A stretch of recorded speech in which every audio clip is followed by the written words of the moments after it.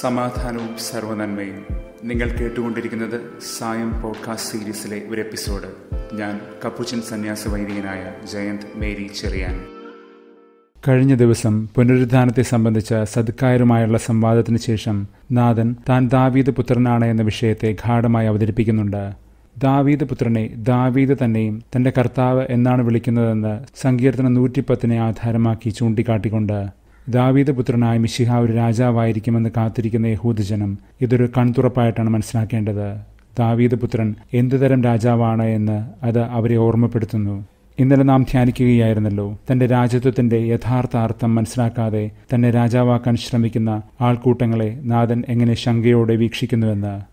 ഈ സംവാദങ്ങൾക്ക് ശേഷം നാഥൻ നിയമജ്ഞരുമായി സംവദിക്കുന്നുണ്ട്.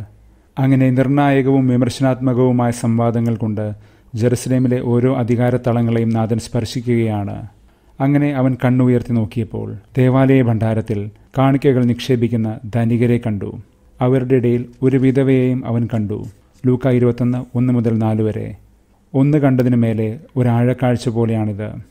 സുഖാസക്തമായ സൗകര്യപ്രദമായ ഭക്തി കംഫർട്ടബിൾ പൈറ്റി നാഥൻ എപ്പോഴും അതിനോട് പ്രതിഷേധം പ്രകടമാക്കിയിട്ടുണ്ട്. ഇവിടെയും ഇതേ പാഠം തന്നെയാണ് നാഥൻ ഒരുക്കുന്നതും. ഭണ്ഡാരം ഗാസ ഫുലാക്കി ഗാസ എന്ന പേർഷ്യൻ വാക്ക് കടമെടുത്തതാണിത്. ഗാസ എന്നാൽ രാജകീയ സമ്പത്തെന്നാണ് അർത്ഥം. വിജാതീയ ദേശങ്ങളിൽ നിന്ന് സാമ്രാട്ടിന് കൈവരുന്ന കപ്പങ്ങളും കാഴ്ചകളും എല്ലാം ചേർത്ത് വയ്ക്കുന്നത്. ഫുലാക്കി എന്നാൽ സുരക്ഷിതമായ അറ തടവറ എന്നൊക്കെ അർത്ഥം. അങ്ങനെ ഗാസ ഫുലാക്കി എന്നാൽ രാജകീയ സമ്പത്ത് തന്നെയാണ് റോയൽ ട്രഷറി. ഗാസ എന്ന ഈ വാക്ക് സമകാലിക ലോകവ്യവസ്ഥയിലേക്ക് കൂടി നമ്മെ ക്ഷണിക്കുന്നുണ്ട്.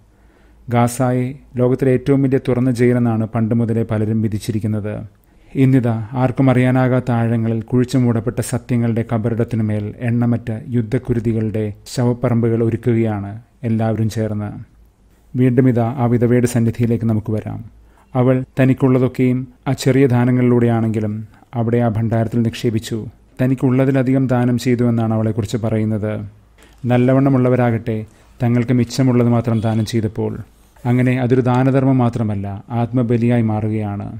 അവൾ തന്റെ ബിയോസ് മുഴുവനും ദാനം ചെയ്തു എന്നാണ് ഇവിടെ ഉപയോഗിച്ചിരിക്കുന്ന വാക്ക്.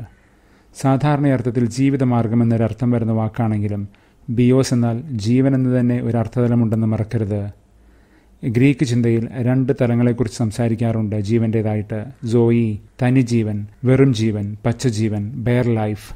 നാം കഴിഞ്ഞ ദിവസം ഹോമോസാച്ചിയർ ധ്യാനിച്ചപ്പോൾ ശ്രദ്ധിച്ചതുപോലെ. പിന്നെ ബിയോസ് ജീവിതമാർഗങ്ങളെയും ജീവിതശൈലികളെയും means and manners of life സൂചിപ്പിക്കുന്ന ഒരു വാക്കാണ്. ഒരുവൻ ആത്മകഥ എഴുതുകയാണെങ്കിൽ അവന്റെ ബിയോസിനെ കുറിച്ചായിരിക്കും എഴുതേണ്ടത്. ബയോഗ്രഫി ജോയിയെക്കുറിച്ചായിരിക്കില്ല നാം കഴിഞ്ഞ ദിവസം കണ്ടതുപോലെ ബിയോസിന്റെ മേൽ സർവാധികാരം രാഷ്ട്രത്തിനുണ്ട്. പൊളിറ്റിക്കൽ പവർ ഒരുവന്റെ ജീവിത പരിസരങ്ങളെയും അവകാശങ്ങളെയും ഉയർത്താനും ഇകഴ്ത്താനുമൊക്കെ ഭരണ നേതൃത്വത്തിന് കഴിയും. അങ്ങനെ അവന് വെറും ഒരു പച്ച ജീവിതമായി ഉരിഞ്ഞെടുക്കാൻ അവർക്കാകും. എന്നിട്ട് ആ പച്ച ജീവന്റെ മേൽ വാളുയർത്തി അവന്റെ ജീവൻ കവരാനും അവർക്കാകും. ഒമോസാച്ചേർ. ഇന്ന് ഈ വിധവ തന്റെ ബിയോസ് പക്ഷേ ആരുടെയും സമ്മർദ്ദത്തിന് വഴങ്ങി കാഴ്ചവെക്കുന്നതല്ല. അവൾ അതൊരു ആത്മസമർപ്പണമായിട്ടാണ് നടത്തുന്നത്. ദേവാലയ കൊള്ളക്കാർ ഈ ഒരു സാധാരണ വിധവയിൽ നിന്ന് പോലും ഇങ്ങനെ ഒരു കാഴ്ച പിടിച്ചു മേടിക്കുന്ന വിധത്തിൽ കാര്യങ്ങളെ ക്രമീകരിച്ചിരിക്കുന്നു എന്നത് വേറൊരു വശം. നാഥൻ അതിനെതിരെയുള്ള പ്രതിഷേധം കൂടിയാണ് ഇവിടെ രേഖപ്പെടുത്തുന്നത്. എന്നാൽ ആ ചട്ടക്കൂടിനപ്പുറം സ്വയമേ ഔദാര്യതയോടെ സ്വമേധയ അവൾ ആത്മസമർപ്പണം ചെയ്യുകയാണ്. അവൾക്ക് ഉള്ളതിലുമേറെ. തിരുവചനത്തിൽ ജീവന്റെ സമൃദ്ധികളെക്കുറിച്ച് പഠിപ്പിക്കുന്നത് എപ്പോഴും സോയി എന്ന അർത്ഥതലത്തിലാണ്. യോഹന്നാൻ പത്ത് പത്ത് സോയി എന്നാൽ ആത്മീയ ജീവനും ബിയോസ് എന്നാൽ ഭൗതിക ജീവനും എന്നൊരു വേർതിരിവ് ഇവിടെ വേണമെങ്കിൽ വായിച്ചെടുക്കാം.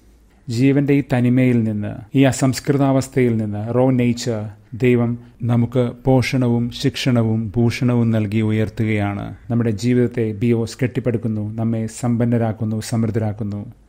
അതിനാൽ തന്നെ ദൈവത്തിന്റെ മുൻപിൽ നമ്മുടെ ജീവിതത്തിന്റെ ഈ നിറവുകൾ ബിയോസ് ജീവിതാധാരങ്ങളിലേക്ക് സോയി നമ്മളെപ്പോഴും എളിമയോടെ കൊണ്ടുചെന്ന് നിർത്തണം. കാരണം ദൈവത്തിന്റെതല്ലാതായിട്ട് ഒരു ധാനവും നമുക്കില്ലല്ലോ. മാത്രമല്ല ഈ ദൈവികമായ ദാനശീലം നമ്മുടെ ജീവിത പ്രമാണം കൂടിയാണെന്ന് നമ്മൾ അറിയണം. നമ്മൾ ദൈവത്തെ അനുകരിക്കുന്നവരായതുകൊണ്ട്. രണ്ട് കുറിന്തിയർ എട്ട് ഒന്ന് മുതൽ അഞ്ച് വരെ. ഇന്ന് ദാനിയൽ ഒന്നിൽ പല പ്രാവശ്യമാണ് ദാനം നാത്താൻ എന്ന പ്രയോഗം നമ്മൾ കാണുന്നത്. ദൈവത്തിന്റെ ദാനമാണ് എല്ലാമെന്ന് ഓർമ്മിപ്പിച്ചുകൊണ്ട് നമ്മൾ തകർച്ചയെന്നും താഴ്ചയെന്നും കരുതുന്ന കാര്യങ്ങൾ പോലും. പിന്നെ തീർച്ചയായിട്ടും നമ്മുടെ ഉയർച്ചകളുമെല്ലാം ഒന്നൊഴിയാതെ ദൈവദാനങ്ങളാണ്. ദൈവത്തിന്റെ ഈ ദാനവ്യവസ്ഥയുടെയും ഹിതത്തിന്റെയും പശ്ചാത്തലത്തിൽ മനുഷ്യന്റെ തീരുമാനങ്ങളും അഭിനിവേശങ്ങളും പ്രവൃത്തികളുമെല്ലാം അതിനോട് കൈകോർക്കുന്നതിന്റെ ചിത്രമുണ്ട് ഈ പാഠഭാഗത്ത്.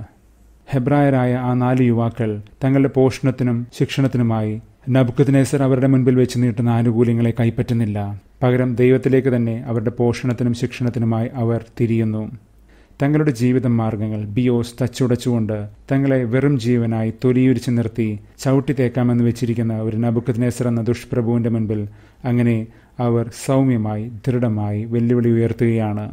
ഈ രാജനിരാസം കൊണ്ട് അതായത് ഈ ഭൗമിക രാജാവിനേക്കാളേറെ അവൻ എത്ര ശക്തനായാലും തങ്ങൾ വിശ്വസിക്കുന്ന യഥാർത്ഥ ദൈവവും രാജാവും തങ്ങളെ രക്ഷിക്കാൻ പര്യാപ്തനാണ് ശക്തനാണ് സന്നദ്ധനാണ് എന്ന് വിളിച്ചു പറയുന്നത് കൊണ്ടാണ് ഈ യുവാക്കൾ തീച്ചൂളയിൽ എറിയപ്പെടുന്നത് പോലും.